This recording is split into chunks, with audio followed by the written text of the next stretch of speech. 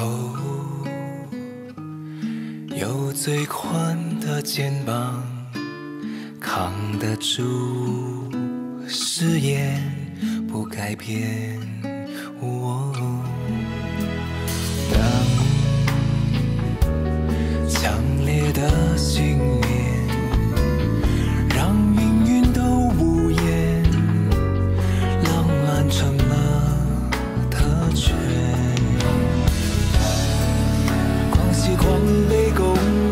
是盛宴，誓言淡化我的壮烈，是无悔的经典。哦，不忧伤的爱是深爱，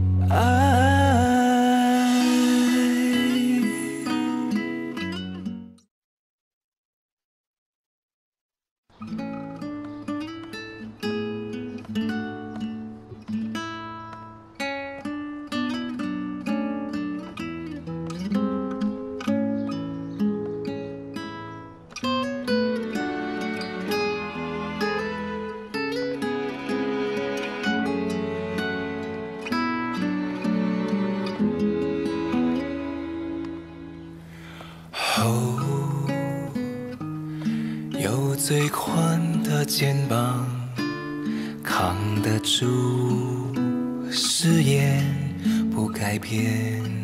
哦，哦，体贴的笑脸，有坚强在里面，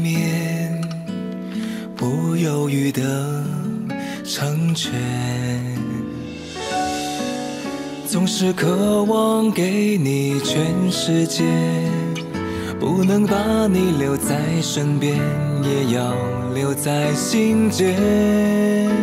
哦，不忧伤的爱是深爱，呵护就是承载，手都颤抖着，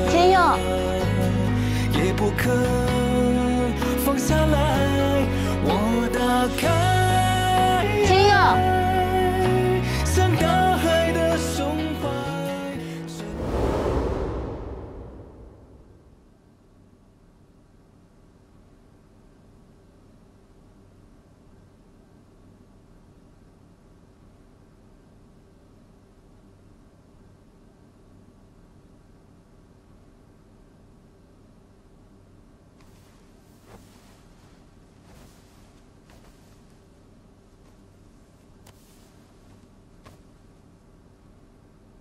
圣诞节，别人的圣诞老人忙着派发礼物，而我的圣诞老人忙着回收礼物。花店没了，房子没了，就连冬菇也不见了。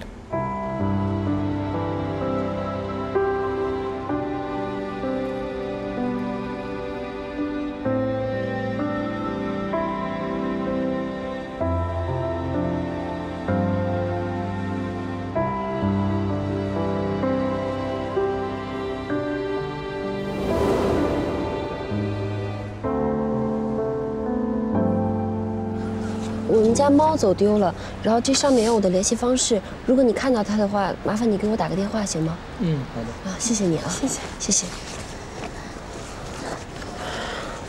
你好，这么找下去，这不是大海捞针吗？嗯我也实在想不出来别的办法了。哎，你说今儿圣诞节，能不能圣诞老人把小动物塞到你们家烟囱里了？你好，我们家的猫走丢了，这上面有我的联系方式，如果你看到它的话，麻烦你给我打个电话行吗？好，谢谢你啊。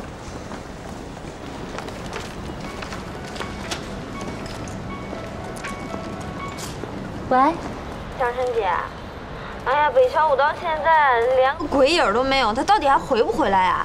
电话又欠费了，是死是活也不知道。他呀，跟个猴子似的，玩累了自然就回来了啊，你也别担心了。哦，对了，那个听说那个五湖星空要准备举办一个模特大赛，你让你们家陈天佑给我内定个基金呗。呃，那个我我先不跟你说了，我这还要准备参加个选秀节目，我回头聊啊，拜拜。哎，那天未央送你回去，没怎么着你吧？她是我嫂子，她能把我怎么样啊？切，粉饰太平。你说，这冬菇能不能自己回小玉山了？老猫都念旧。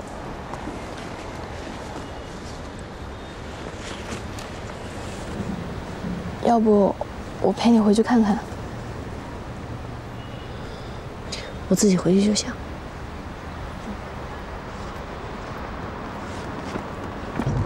已经打听到天佑的消息了，他回来了。他现在在什么地方？小玉山。还有一件事情，不知道该不该说。其实，江小姐和天佑已经分手了。江生，他的孩子是流产了。对了，你那小宝宝怎么样了？哎，别提了，孕检出错了，根本就没有这回事儿。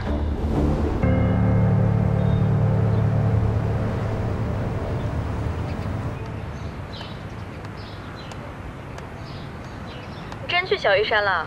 嗯那行，那待会儿我去接你。嗯，好。嗯。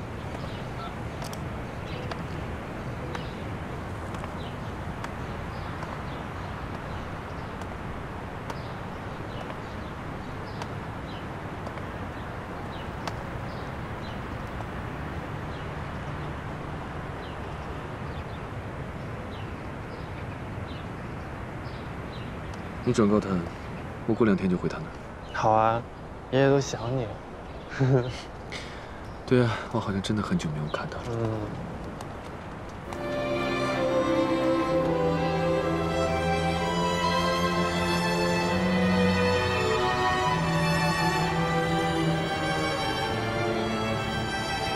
石壁小姐，私人住所，闲人门禁。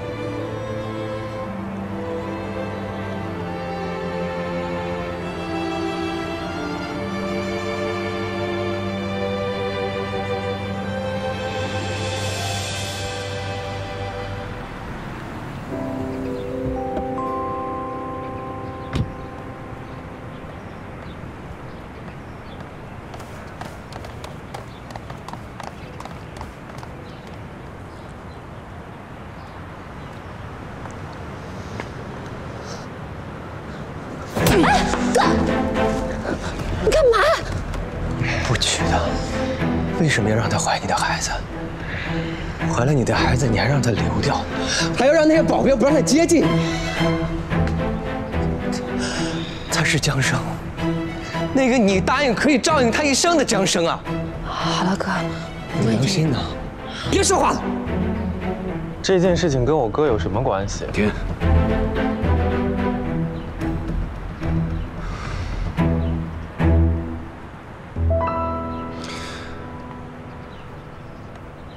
你不是说江生是你的命吗？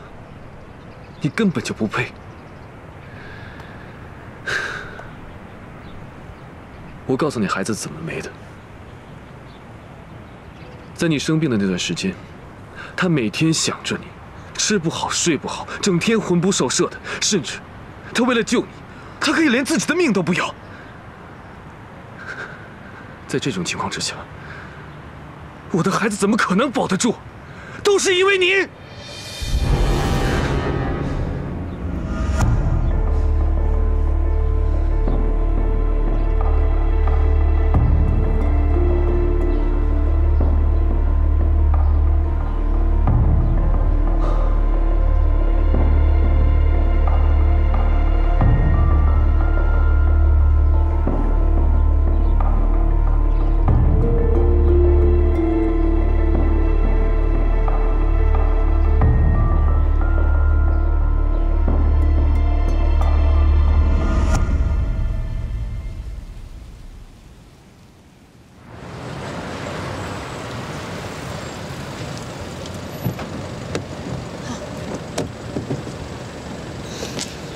师傅。看来我哥还是放不下你，还是选择保护你。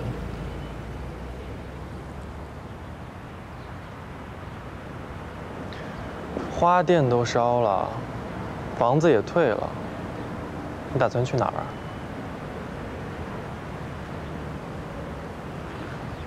说到底，你就是个寄生虫。当初靠着我哥住进了小鱼山，过着好日子。那个花店的经营，应该也有不少我哥的人脉去捧场吧？人家谈恋爱你情我愿的，怎么成了寄生虫呢？谈恋爱的时候花前月下，保证的好好的，分手了就说靠男人。那你们拿女朋友当什么呢？银行啊，需要的时候存进去，不需要了再取出来。成天，你什么时候变得这么会算计了？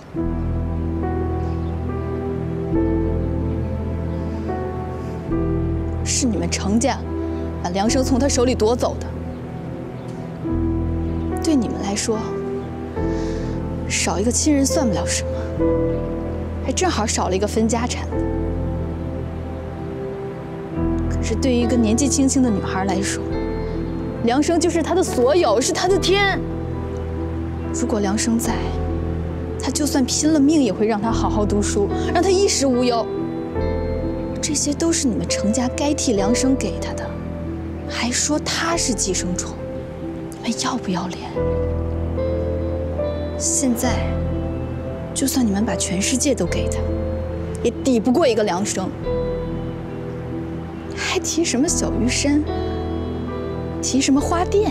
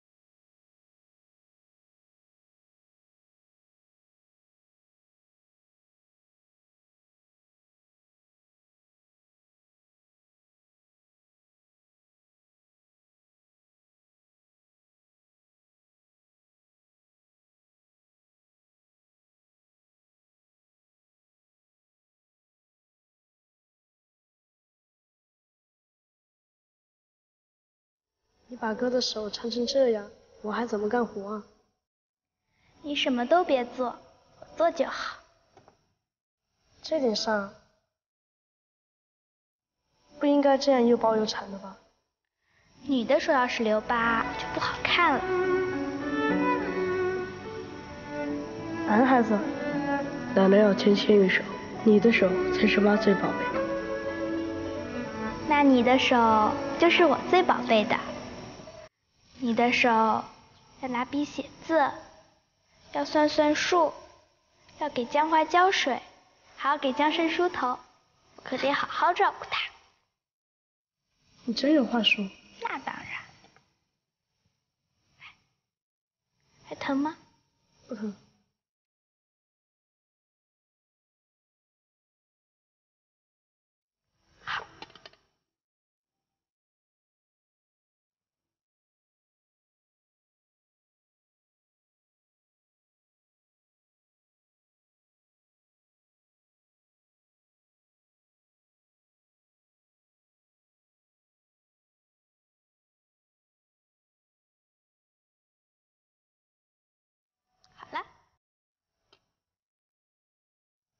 江胜啊，你把我手缠成这样，我还怎么吃饭啊？我的耳朵就是你的耳朵，我的手就是你的手，我喂你吃。干嘛呀？你手不疼啦？哎，你这儿没包紧，帮你重新包一下。别别别，再包真的就没法吃饭了。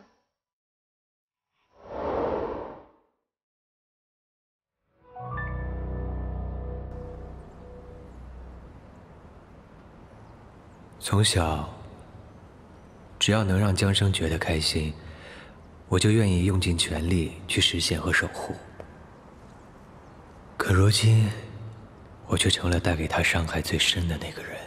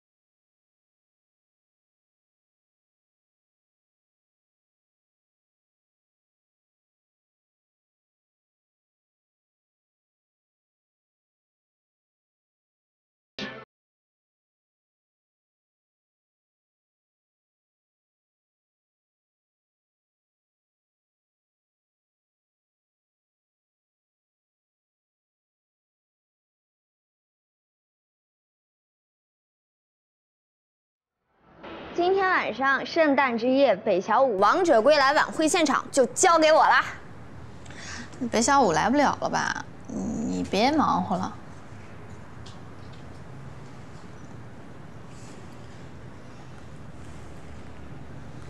江晨姐，你眼圈怎么都红了？你和北小五感情真深啊！什么理解力呀？IQ EQ 双下限啊！别瞎猜了。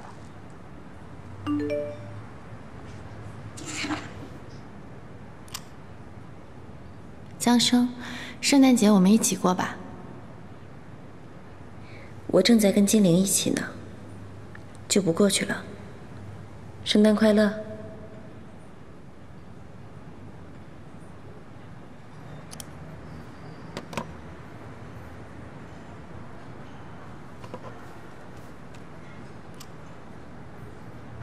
还用还用梁生的手机来发短信，这分明就是示威嘛！不跟他一般见识。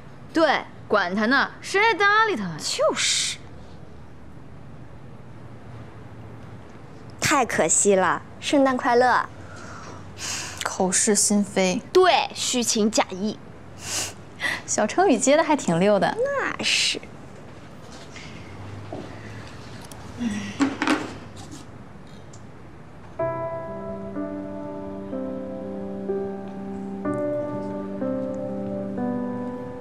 生，哎，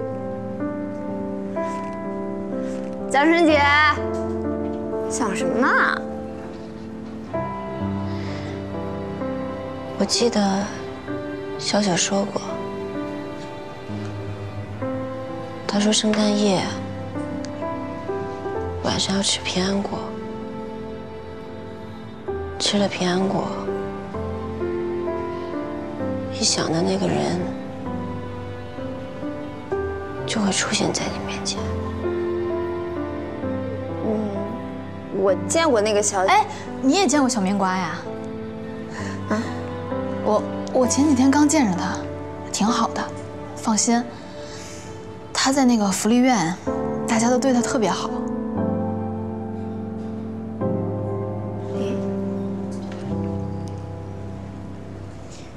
那个这么晚了，小五还没过来。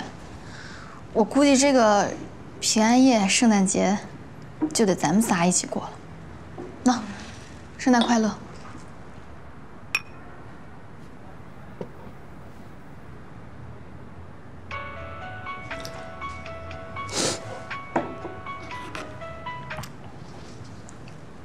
喂。你小五哥回城了，现在人在交警队，你得来接我。交警队。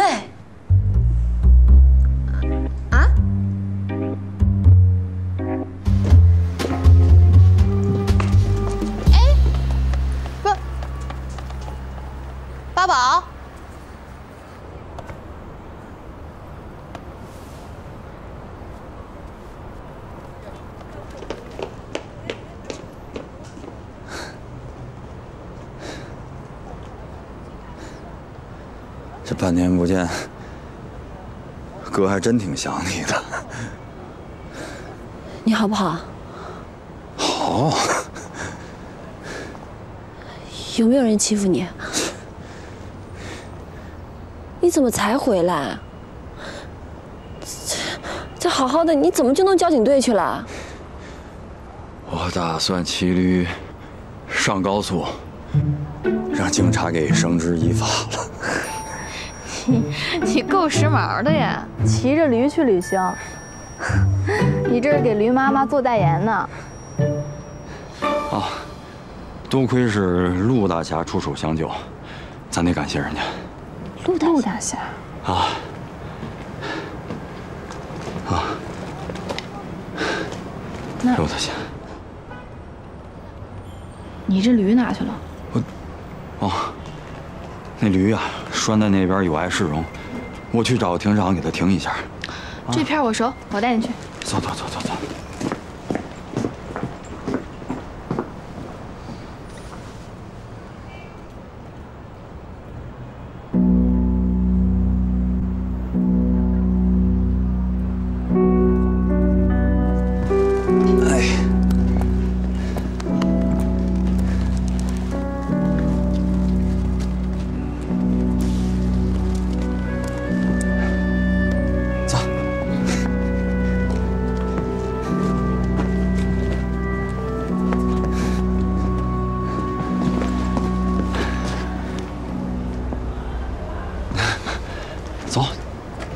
吃饭去吧，过个圣诞。我还有点事，就不陪你们了。祝你们圣诞快乐。走了。改天啊。走，咱几个吃去。走吧，那咱们。烤串，走。梁生没找到，我就顺路去找小九了。结果也是没消息。以前每年圣诞节都下雪，今天下雨。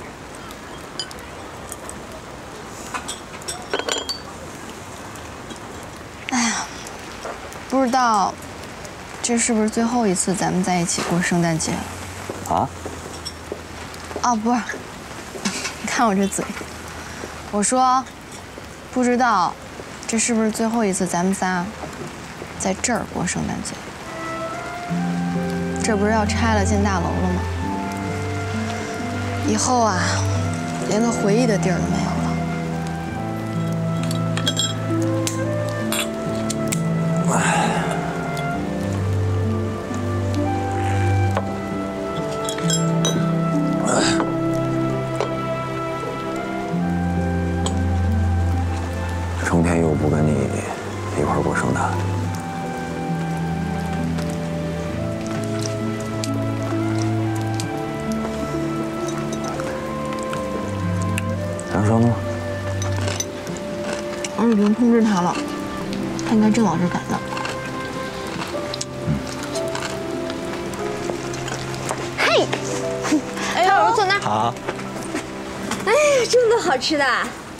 哇塞，大回蒜！来了。谢谢。哎呀，你不知道我最近这个通告呀，真的多的我都忙死了。我现在呢有柯小柔这样的助理就还行，但是还缺个经纪人。小生姐，你那个花店不是没了吗？你给我当经纪人吧。我？你可歇菜吧啊！一个吉祥物有什么可经济的？吃你，过过节那个工作的事儿，改天再说。喝酒吧，来，我未来的经纪人，我敬你一杯酒。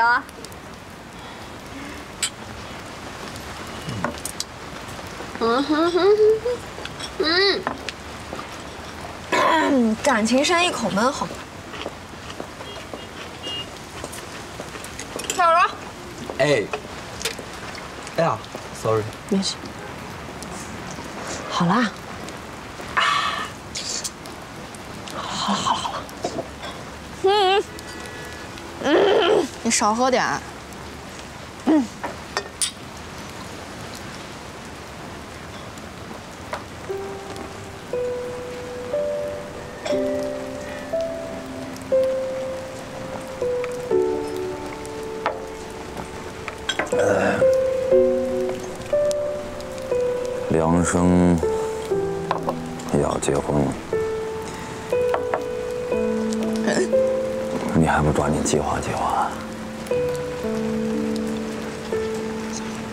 计划什么呀？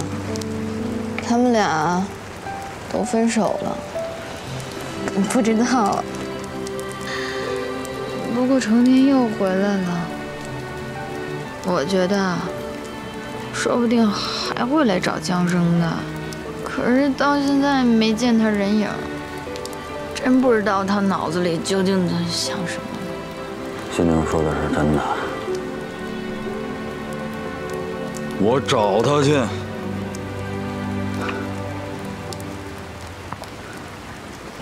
是我不好，是我配不上他。也不能怪你。梁生呢？啊？不闻不问，怎么当哥的？哼，他就不是哥哥。滚蛋！真的。你再说一遍。医院都鉴定过了，江生和梁生啊，他们没有血。缘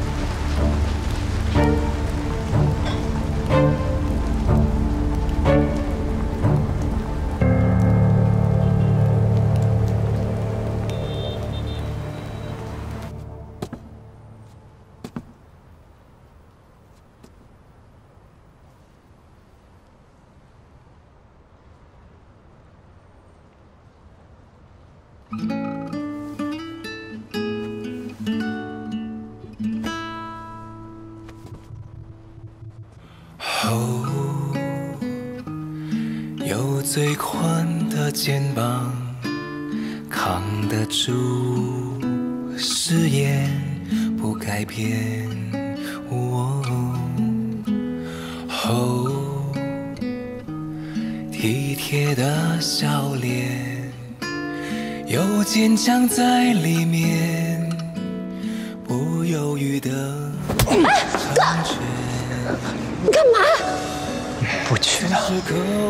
为什么要让她怀你的孩子？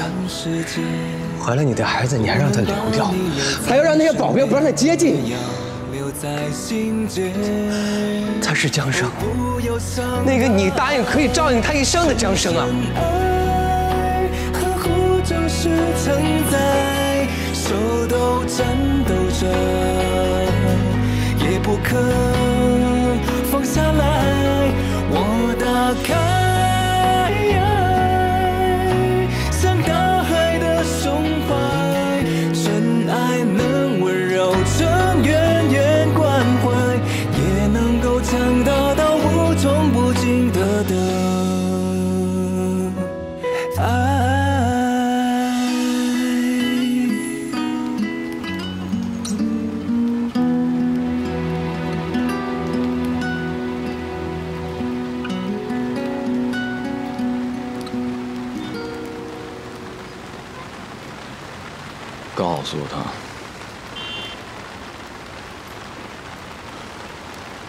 我就当他是我哥，又何必告诉他真相？你告诉他，不管我们有没有血缘关系，我们永远都是兄妹。我让你告诉他别说。了，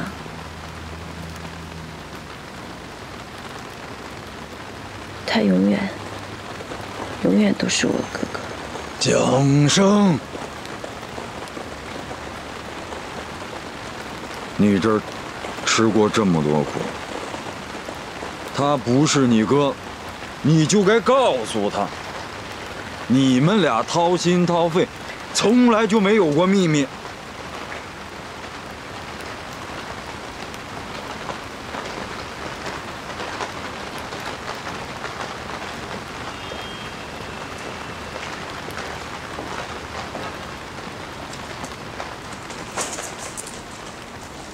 在这里啊？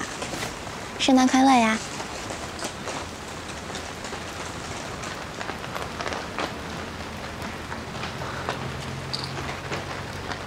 真好。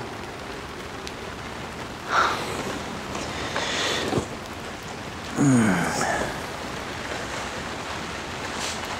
听说你们要结婚了，是啊，虽然说我们定在了四月的第一天是愚人节，但是我们找大师算过了，那天是黄道吉日，已婚嫁。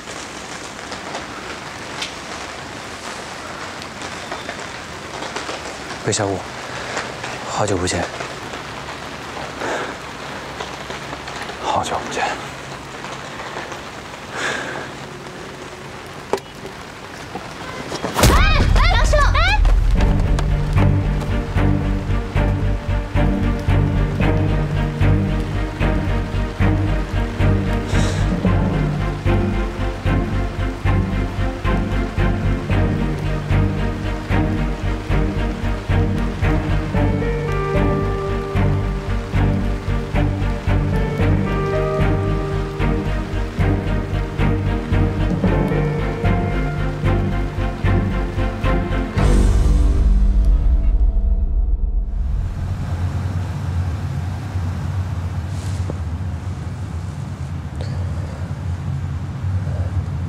实江生应该跟我回家，怎么能去你那儿呢？是我求他跟我住的。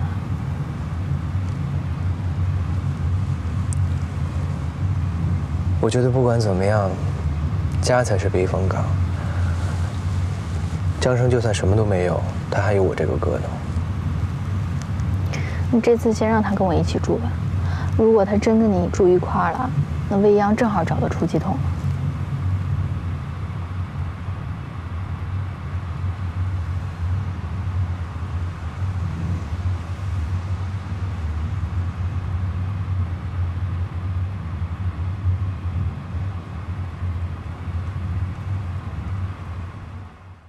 么样，酒醒了没？开玩笑，你五哥我什么时候喝多过呀？就是有点头疼。哎，我正好想起来了，我们杂志社正在找美术编辑，我觉得你挺合适的。明天正好有面试，你要不要来试试看？我帮你打声招呼，临时加个名额呗。哎，金玲，像我这种用灵魂创作的艺术家，理论上讲，不太适合上班。另外一个，哎，也没有另外。哎呀，你先试试看呗。怎么说，这也是你的专业，老本行。我觉得你培训一下，应该就能上手。跟你说实话吧，我是怕我不着调惯了，去杂志社干不好，打你的脸。哎我发现你怎么流浪一趟回来变得婆婆妈妈的？怎么着？骑驴上高速，脑袋被驴踢了？别犹豫了啊，你就先来试试看。怎么着，你也得给自己的专业一个交代呀、嗯，行，那交不是，那好，我去啊。明天见啊，别迟到了，九点。拜拜。拜拜。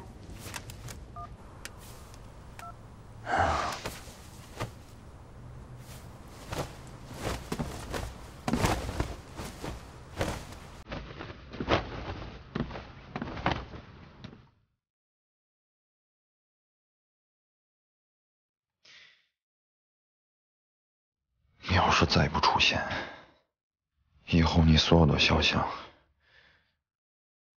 我都给你画成黑白的。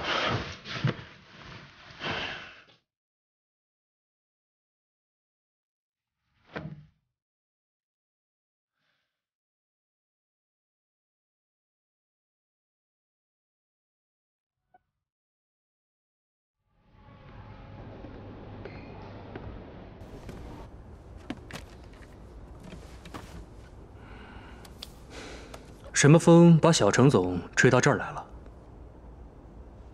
前两天我去看马术比赛，得知了两件趣事。一个是江大公子在做离婚协议，一个是你陆文俊被停职了。你该不会有什么不可告人的秘密吧？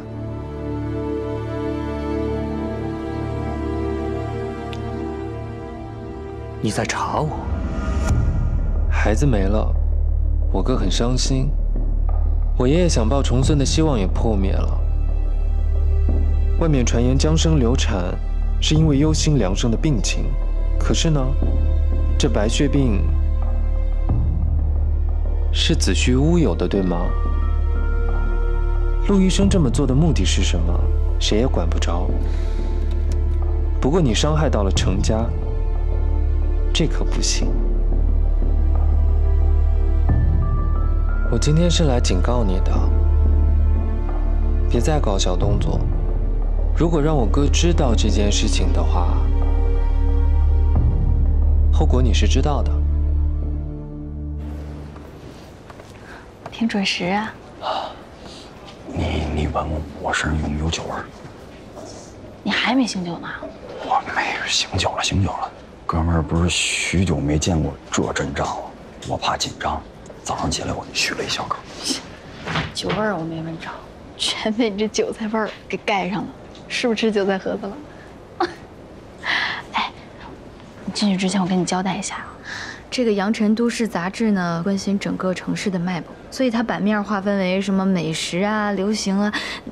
行行行行行行，哥们儿不打没准备的仗，昨天晚上都做好功课了。走着。哪儿买的韭菜呀？味儿正正的。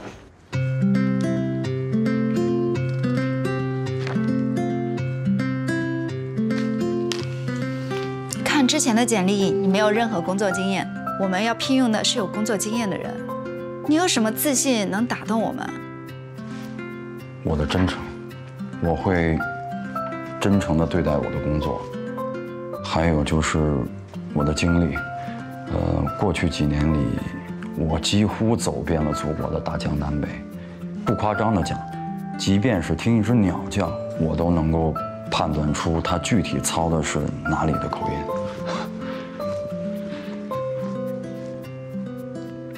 哦，这是我的作品集。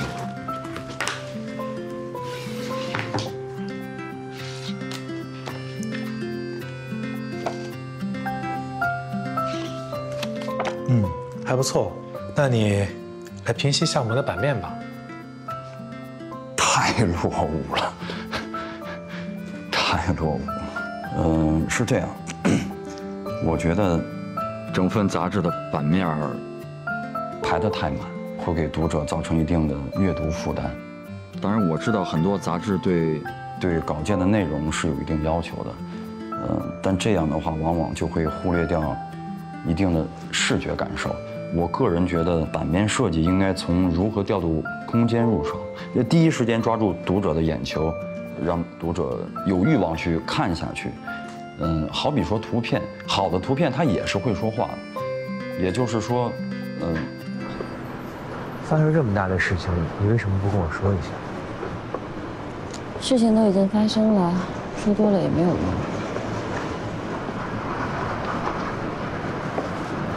这是你第一个孩子，孩子是需要缘分的。再说前三个月本身就不稳定，所以也不能强求。你一个人受了那么多委屈，你应该告诉哥，哥陪着你。我不想让你一个人面对。我不想让你陪我面对，我只想让你好好的。香香。你答应哥，以后不管发生什么事情都要告诉我，有哥帮你撑着呢。嗯。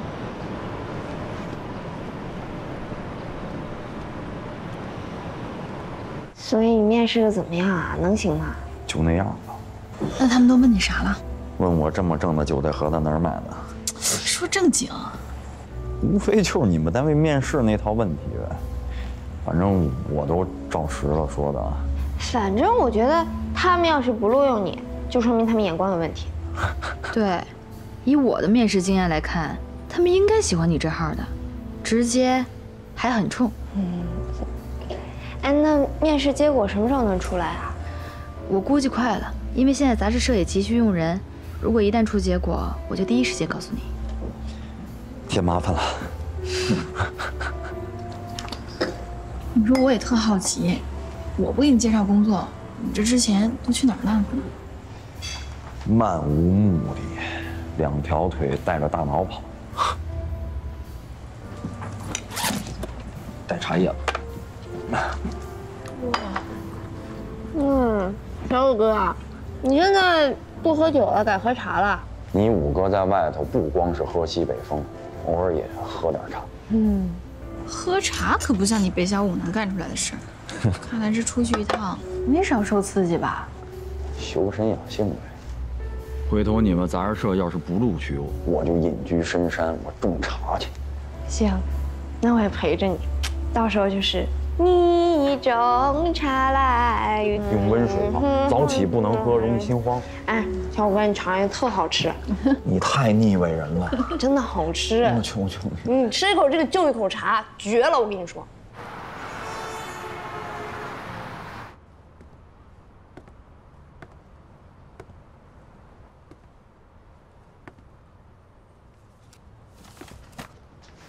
你喜欢吃的蛋糕。你最近还好吧？我我挺好。你你你怎么样？那天我知道你那天喝多了，没事儿。你被